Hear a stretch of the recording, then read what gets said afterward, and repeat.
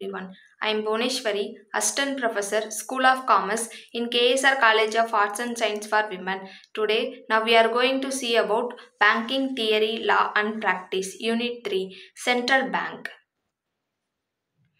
Central Bank, a financial institution given privileged control over the production and distribution of money and credit for a nation or a group of nation meaning. Uh, now we are going to see about simple meaning of central bank. A central bank is an independent national authority that conducts monetary policy regulate banks and providing financial services including economic research. Its goals are to stabilize the nation currency keep unemployment low and prevent in inflation then next one is Reserve Bank of India. Reserve Bank of India is India's central bank. It controls the monetary policy concerning the national currency, the Indian rupee. The basic functions of the RBI are the issuance of currency to sustain monetary stability in India, to operate the currency and maintain the country credit system.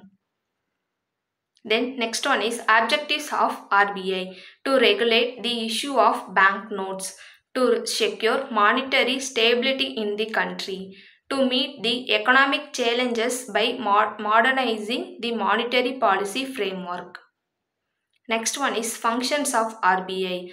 First one is the issue of banks notes. The most important functions of RBI is the issuance of currency notes and coins except the 1 rupee note and coin which are the issued by the Ministry of Finance. All all other notes bear the signature of the RBI governor. However, the agency of distribution of all notes and coins issued by the government of India is the Reserve Bank of India. Then next function is to the government. Another chief function of RBI is that it takes care of the banking needs to the government which includes maintaining and operating the deposit accounts of the government, collecting the receipt of funds and making payment on behalf of the government of India. It also represents the Indian government as member of the International Monetary Fund and the World Bank. Then third function is custodian of cash reserve of commercial bank. Commercial banks are required to maintain the cash reserves at a rate decided by the RBI in its monetary policy. Then third function is custodian of foreign exchange reserve.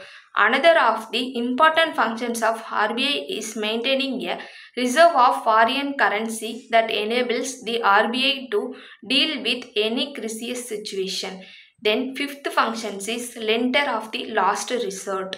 Often regarded as the banker of banks, the RBI act as a parent commercial banks in India. This it becomes the lender of the last resort of all banks when they are in a crisis situation. Thank you.